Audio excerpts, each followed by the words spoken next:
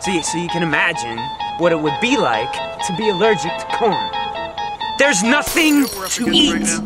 There are 7 billion people. 7 billion people on this planet. You know how many calories they need every single day? Growing corn and fighting terrorism, right? Next year, more people will die from illnesses related to obesity as a result of processed foods with corn in it than terrorism.